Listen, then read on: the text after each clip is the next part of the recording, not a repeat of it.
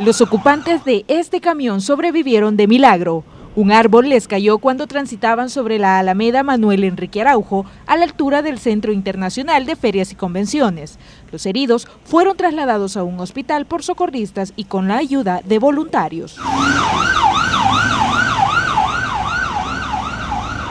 Eh, las personas lesionadas, entre ellas están Marta Elizabeth Fabián, de 33 años de edad, el motorista Fabián López, de 25 años de edad, Mónica Fabián, de 18 años de edad, y Carlos Arnoldo, de 19 años de edad.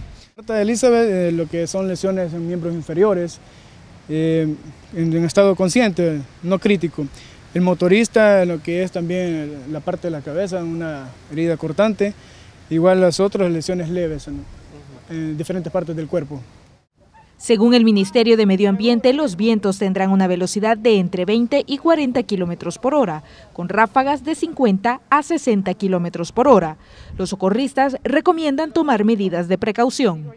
Si usted está cerca o está debajo de un árbol que está, o duda usted de que, que esté seguro, mejor aléjese o pase rápido si es que es necesario para que no vaya a sufrir alguna lesión o un tipo de incidente que lo lleve hasta causarle la muerte.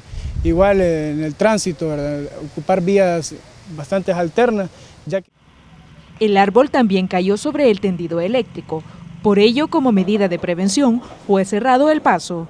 Con imágenes de Gonzalo Tejada, Tatiana Funes, Noticiero Hechos.